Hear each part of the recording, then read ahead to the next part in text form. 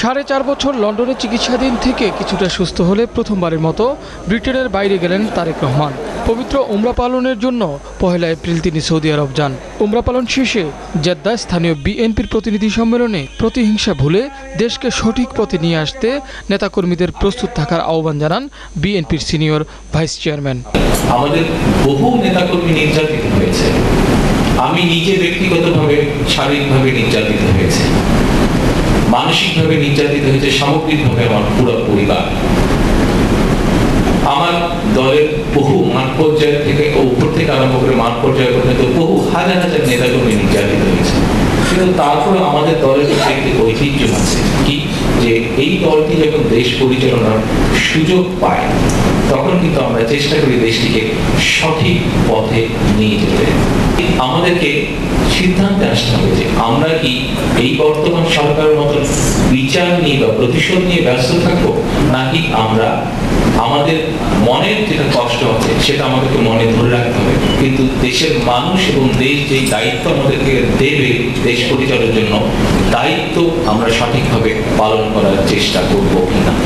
দেশে চরম মানবাধিকার লঙ্ঘনের ঘটনায় উদ্বেগ প্রকাশ করেন তিনি। দেশের আজকে আইন শৃঙ্খলা থেকে আরম্ভ করে দেশের মানবাধিকার থেকে আরম্ভ অবস্থা বা পরিস্থিতি কোথায় গিয়ে পৌঁছেছে, সেটি নিয়ে দেশের মানুষ যেরকম আতঙ্কিত, সেটি নিয়ে বিদেশি মানুষগুলো আতঙ্কিত। যে সকল ব্যক্তি সেই সকল সময় আমাদের দলের নেতৃবৃন্দের উপরে, কর্মীদের উপরে সামগ্রিকভাবে দেশের উপরে নেতৃবৃন্দ, কর্মীদের নির্যাতনের উপরে নির্যাতন করার জন্য এবং একই সাথে সামগ্রিকভাবে দেশকে একটি অন্ধকার দিকে নিয়ে যাওয়ার জন্য দায়ী, তাদের বিচারের ব্যবস্থা। স্বাধীনতার ঘোষণা নিয়ে যে বিতর্ক তোলা হয়েছে, এর জবাবও দেন তারেক রহমান। এক দেশের বিদেশি সাংবাদিক সেখানে উপস্থিত ছিল। তাদের বেস ছিল হোটেল ইন্টারকন্টিনেন্টালে শেখ সাহেবকে তিরিশ চল্লিশ জন পাকিস্তানি সোলজার অ্যারেস্ট করে নিল। তো পাশে দুই চার পাঁচটা লোক ছিল না, যাদেরকে দিয়ে উনি লিখে, হাতে লিখে ওই ইন্টারকনে পাঠিয়ে দিতে পারতেন যে আমাকে অ্যারেস্ট করছে কিন্তু আমি স্বাধীনতার ঘোষণা দিয়ে গেলাম এটা কি উনি পারতেন না? শিগগিরই দেশে ফিরে আবারও রাজনীতি ও জনগণের পাশে থাকার ইচ্ছা প্রকাশ করেন বিএনপির অন্যতম শীর্ষ এই নেতা।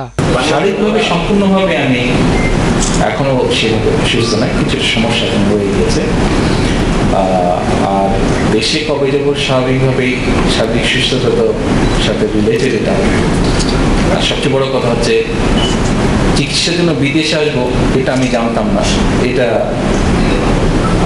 যিনি জানতেন যিনি পাঠিয়েছেন আমাকে তাকে তার কাছ থেকে জানতে হবে বা তার নির্দেশ যেটি হবে সেদিন ইনশাল্লাহ দেশে সৌদি আরব বিএনপি সভাপতি আহমেদ আলী মুকিবের সভাপতিত্বে এতে বিএনপির স্থানীয় নেতারা উপস্থিত ছিলেন।